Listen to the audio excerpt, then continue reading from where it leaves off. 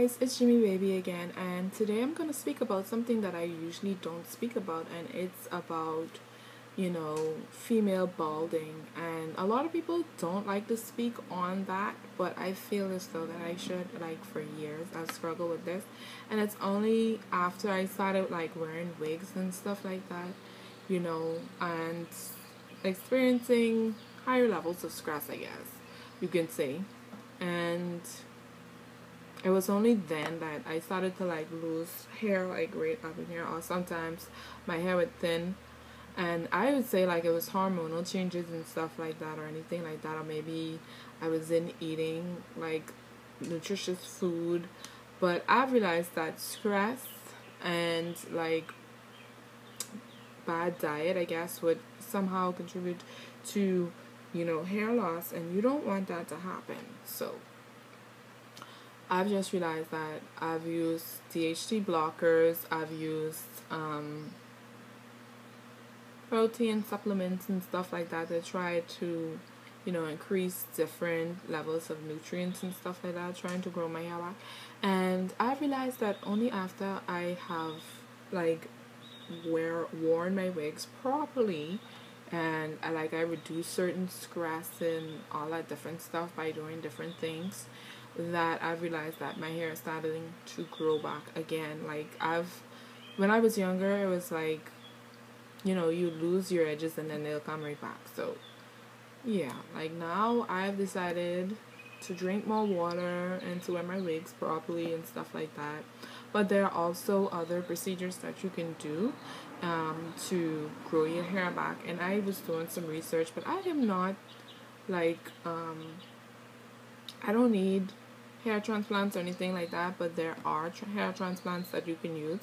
Um, I would suggest that you probably would um, do your research properly and know the procedure before you get it done. Like there's like two different types. I think it's FUI and FUE, and both of them are pretty extreme. But if that's something that you would like to consider, then you probably should. And if it's just something that you could control that is up I mean above like heredity. That's like in the cases of hereditary baldness and stuff because I have hereditary baldness in my family. And you can get it from your mother or your father's side of the family so it really does not make you a bad person. I like to wear my wigs. Like sometimes your hair just isn't going to um, cooperate with you. Like how you would want it to cooperate with you and Therefore, you would have to like wear wigs to style it and to protect your natural hair. Like my natural hair is actually thick and curly, and I love it so much. However, there are times that I really want to do like uh, natural straightening.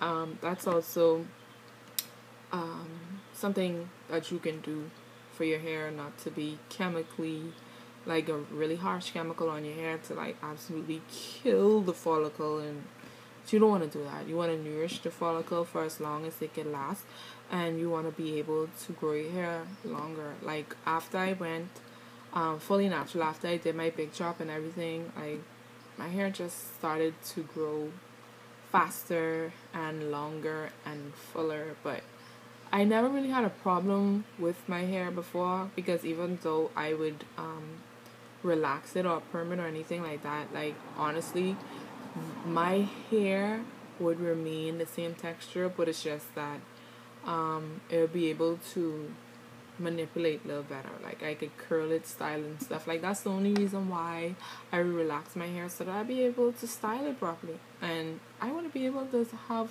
versatility in my hairstyles. Like if I want pink hair, blue hair, green hair, red hair, uh, purple hair, uh, white hair, any kind of hair, like I want to be able to have that. But wigs give you that decision making that you can use like if you don't want your hair like that like you could just revert it back to original like just by putting a wig on without making any permanent decisions like seriously. You don't want to lose your hair just because you want to follow some fad or some style.